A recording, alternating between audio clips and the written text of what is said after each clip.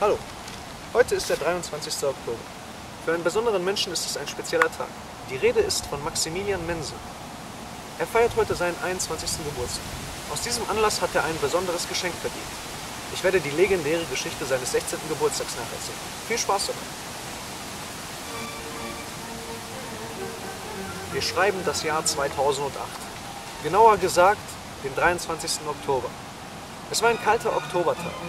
Die Straßen voller Laub, der Himmel bedeckt. Maximilian feierte seinen 16. Geburtstag.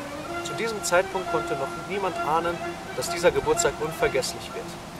Wie es sich für gute Freunde gehört, planten wir eine Party für ihn. Wir sagten, Seranda, sei um 20 Uhr bei mir, dort wird eine Party für dich stattfinden. Doch hinter seinem Rücken schmiedeten wir einen anderen Plan.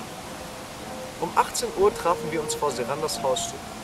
Wir, vier Jungs, vier Mädchen, im Gepäck eine Torte, Konfetti, Luftballons und Tröten, wie sie sich für einen Geburtstag gehörten.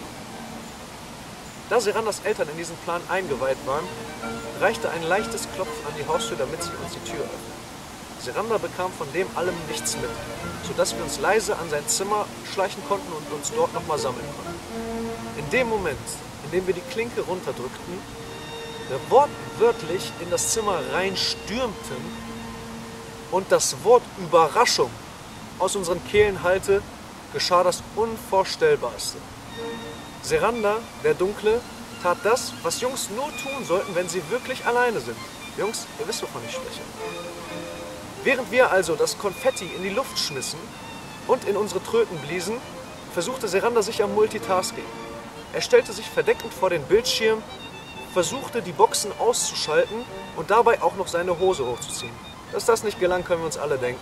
Ich weiß nicht, was lauter war. Das Gelächter der Jungs oder das Gekreische der Mädchen. Aber eins weiß ich genau. Dieser Geburtstag war legendär. In diesem Sinne, Seranda, alles Gute von mir und Sergius. Ich hoffe, du freust dich über dieses Geschenk und weißt aus deinen Fehlern zu lernen.